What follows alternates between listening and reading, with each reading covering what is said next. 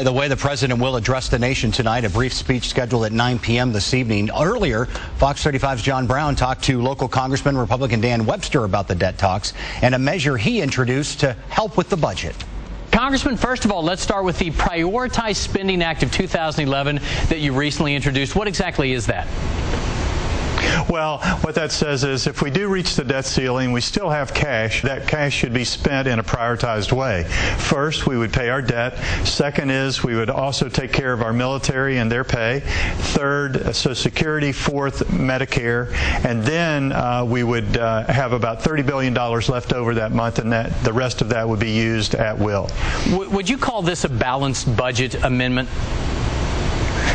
well, in a sense it would be, but uh, it'd be a little uh, more uh, drastic in that we don't really have a budget to spend some except for the next two months. So, so it'd be in, in, a way a balanced budget, certainly, but I don't know that anybody right now is proposing uh, to do it immediately. That would be difficult. I'm for more of a step process. Yeah, and we hear from a lot of Republicans saying that, you know, the first thing we have to do here is cut spending. We've heard a lot of different proposals. What do you suggest we cut to where you know, it, it, it's not too painful for seniors, for Medicare, for Medicaid, and for middle class families.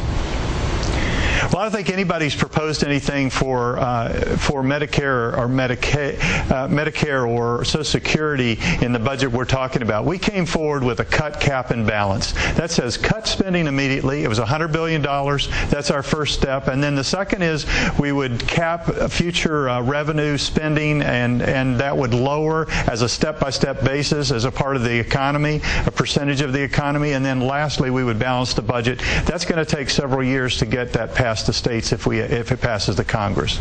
Now, Congressman, if a deal is reached, I know there's a lot of work still to be done, but if a deal is reached, what happens with uh, the piece of legislation you put forward? Well, I think the key is to get the deal. I mean, that's what everyone would like to do, if you want to call it that. I think there's we need an agreement. I think it needs to be under that umbrella, a, a cut, cap, and balance, in that we get a, a real vote on a balanced budget amendment. We get have an opportunity to limit spending through caps over the next several years, and we cut spend immediately out of the current budget that we'll be proposing the 2012 budget. That's the key. Congressman Daniel Webster, thanks for taking time for us out of your busy day today. Great. Good to be on.